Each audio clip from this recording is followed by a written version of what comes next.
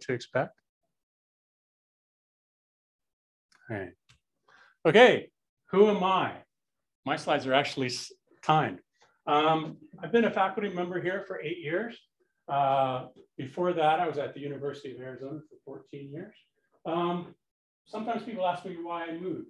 Uh, personal reasons associated with health, one of many midlife crises, and a chance to refocus my work on something that's uh, near and dear to my heart, where I could have an applied impact in the real world.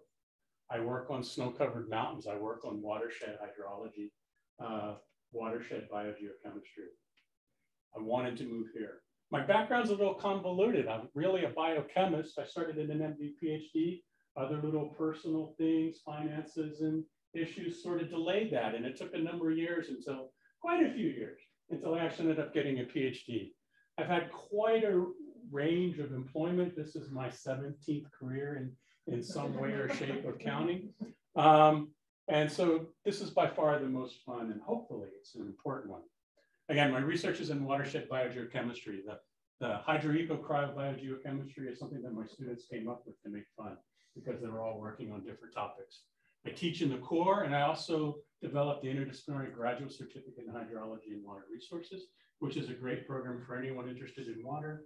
And I try to stitch together all the related research that we have ongoing here uh, close to campus. The campus has a living lab and beyond into some sort of structure. I don't think my timer's working. I'm sure I've been talking for more than two minutes. um, smooth as silk. We're going smooth as silk. Okay. And so I'm not going to say much more about that because I I'm up for my five-year review. I've been here eight years. I'm up for my five-year review. I can't do the math on that. I used to think I was good at math, but what I'm going to talk about in a couple weeks is how we go from process level understanding of snow and snowfall in the mountains and how that water actually gets to our reservoirs. What are the opportunities that we have to majorly improve water resource management in the face of climate change, uh, growing populations, and the tremendous legal uncertainty that we now have unveiling on the Colorado River in areas like this throughout the world. Okay, I forgot who's next.